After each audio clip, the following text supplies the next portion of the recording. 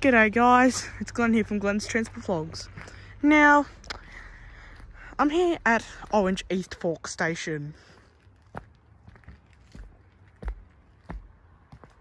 In case you're wondering um, what Orange East Fork Station is, Orange East Fork Station is actually a station used by the Indian Pacific. So, um, here's one end. And walk down here. There's the other end. So this is Orange East Fork Station. As you can see, the light is pretty shitty here, but still.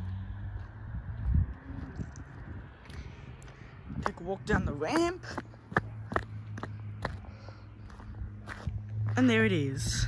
I'm gonna take a few quick photos and yeah. So in case you're wondering, Orange East Fork Station um, actually opened, I think, back in the 1920s, but it wasn't really used until 1970 when the Indian Pacific came through. So, yeah. So, at Orange East Fork Station, um, you have just a shelter and a seat. That's all. And I'm gonna take you. Actually, there's an old water tank up there. I know you can't see it that well but you can tell it's there. Anyway, I'm going to take you for a walk and show you the sign for Orange East Fork Station.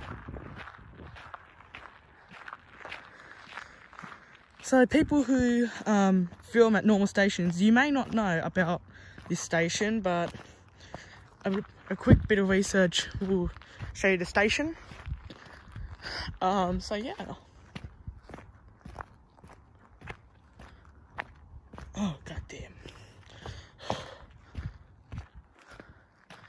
This is the road leading into Orange East Fork Station.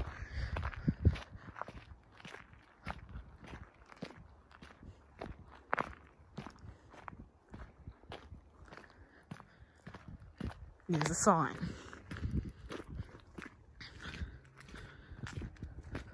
So I'm out at the main road. There's a sign with a convenient F-bomb.